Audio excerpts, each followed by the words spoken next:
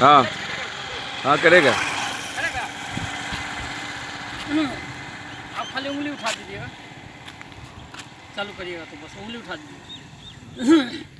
जय माँ कामाख्या, जय माँ भवानी, कैसे भक्तों आप सभी भक्तों को माँ कामाख्या ज्योतिष की तरफ़ से रोज की हार्दिक शुभकामनाएँ। आप सभी कुशल मंगल रहे, यही हमारा कामना है।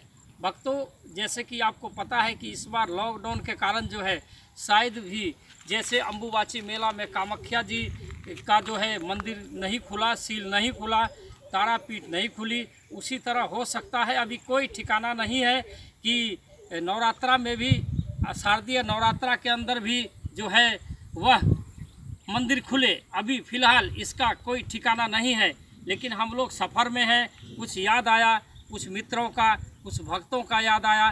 सोचे, रोड पे, सड़क पे चलते चलते आप सभी को जानकारी दे दूँ। क्योंकि आप लोग हमेशा से हमें प्रेम करते हैं, मित्रता है और मंत्र चाह सीखने की चाह रखते हैं। हमें कमेंट करते हैं, बहुत से मित्र कमेंट करते हैं कि हमें तंत्र मंत्र सीखना है। तो मैं यही कहना चाहता हूँ कि भक्तों, समय नहीं है। सत्रह अक्टूबर से शारदीय नवरात्रा शुरू हो रहा है और यह बहुत बड़ा आपको सीखने का मौका है, समय नहीं है। जैसा कि आप जानते हैं कि आज 28 तारीख है 28 अगस्त है, समय किसी के पास नहीं है। जिसका भी जो गुरु है, उनसे अपना संपर्क करें और सीखना शुरू करें। ये ज़रूरी नहीं है कि हमसे आप सीखना शुरू करें, हमसे सीखें। हम बहुत से महान गुरु हैं, भारत में हज़ारों हैं, सभी के हैं। आप जिससे भी संपर्क में हैं जिसके सामने हैं, जिसके सानिध्य के अंदर हैं आप आप उनसे बात करें, क्योंकि समय नहीं है। दो महीने के अंदर आप क्या कर सकते हैं?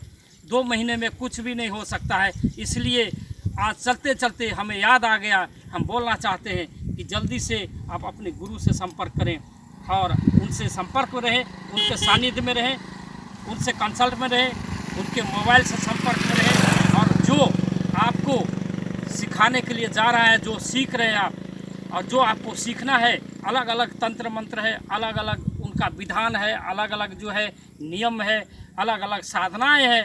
जो मित्र भी, जो भी सीखना चाहते हैं, सब अपने अपने गुरु से संपर्क करें। मेरे संपर्क में जो भी है, अगर हमसे कोई सहयोग की आवश्यकता है, हमसे सहयोग लेना चाहते हैं आप तो आप सहयोग लें।